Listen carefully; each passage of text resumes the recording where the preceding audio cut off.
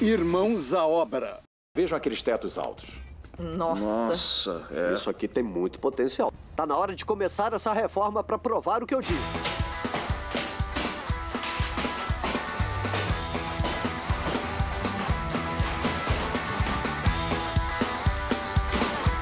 Eu não tô gostando nada do que eu achei. Eu vou ter que trazer o meu engenheiro aqui para confirmar, mas eu acho que eu já tenho mais notícias pro John e pra Diana.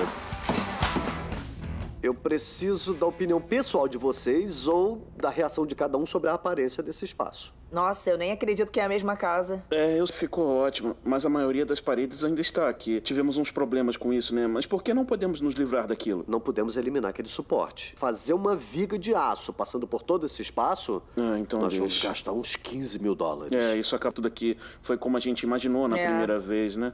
Eu, eu- olha, acho que ia tirar a intimidade desse espaço todo, sabe? Não ia ficar legal. Vocês iam se sentir numa espécie de caixa gigante. Então, olha, eu acho que a nossa maior preocupação é como a gente separa ela do restante. Se a gente emoldurasse a parede, quem sabe colocando umas tábuas horizontais bem legais. E aí, quem sabe colocar uma abertura de 1,30m, 1,5m bem no meio, hipometros. Ah, parece bem é legal. uma ideia bem diferente, né?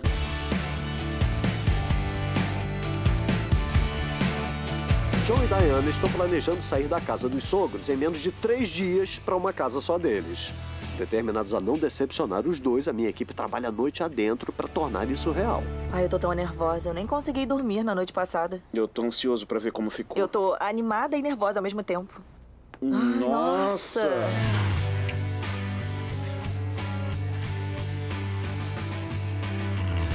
A gente não conseguiu deixar todo em estilo aberto, mas eu gostei de como as divisórias de madeira escura emolduraram a entrada da sua nova sala de jantar. Eu tô surpreso por ter ficado tão bonito. Eu não achei que ia ficar tão bonito assim. Temos essa peça diferente aqui, ó. Eu nunca coloquei nada assim num projeto meu. E eu acho que ficou lindo. É, ficou ótima É, mesmo. pra dar um impacto no resto do espaço. É uma coisa única.